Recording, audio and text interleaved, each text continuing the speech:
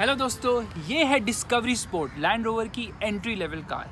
अब हालांकि ये सस्ती होगी लेकिन चलने में काफ़ी बेहतरीन है और ऑफ रोड केपेबल भी